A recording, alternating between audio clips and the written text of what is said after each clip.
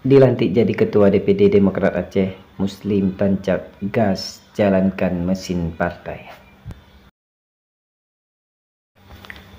Usai resmi dilantik oleh Ketua Umum Partai Demokrat Agus Harimurti Yudhoyono, Ketua DPD Partai Demokrat Provinsi Aceh periode 2021 sampai dengan 2026, Muslim langsung bergerak cepat menjalankan mesin partai.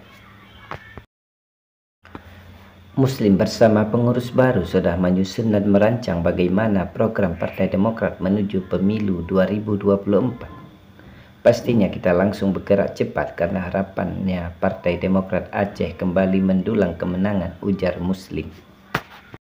Kita harus tancap gas dengan mesin partai semangat baru. Partai Demokrat dan masyarakat Aceh memiliki sejarah yang tidak dapat dipisahkan jadi harus kita raih kembali kemenangan di Aceh, tegas Muslim.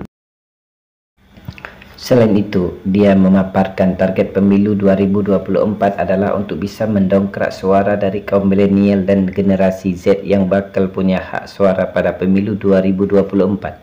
Terlebih Aceh secara nasional menjadi basis dan utama sehingga mesin partai harus bergerak lebih cepat.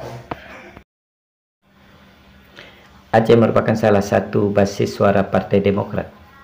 Pada pemilu lalu, Partai Demokrat mengirim dua nama sebagai anggota Dewan Perwakilan Rakyat Republik Indonesia. Di tingkat provinsi, Partai Demokrat mengirimkan 11 nama dan menjadi partai politik kedua terbesar di DPR Aceh. Paparnya